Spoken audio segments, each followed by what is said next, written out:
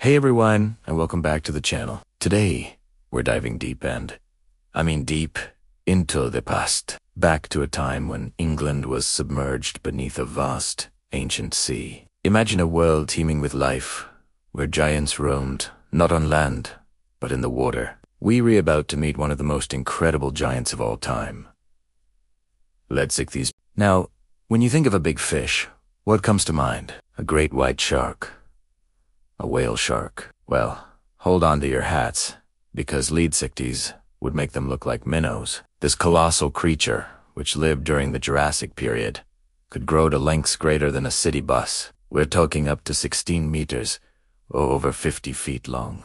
It was, without a doubt, one of the largest fish to have ever existed. Its name, problematicus, even hints at how difficult it was for paleontologists to piece together its massive, fragmented fossils.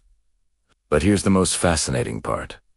Despite its intimidating size, Leedsichthys was a gentle giant. It wasn't a fearsome predator hunting other large sea reptiles. Instead, it was a filter feeder, much like the blue whales of today. Picture this majestic titan gliding slowly and gracefully through the warm Jurassic waters, its enormous mouth wide open. It would swim through clouds of plankton. Using its highly specialized gill structures a complex mesh of bone to sieve countless tiny organisms from the water. It was essentially a living, breathing, city boost-sized water filter. Visualizing lead Leedsichthys is like imagining a living cathedral moving through the ocean depths. Its sheer scale and serene nature would have been an awe-inspiring sight. It wasn't a fast-moving hunter.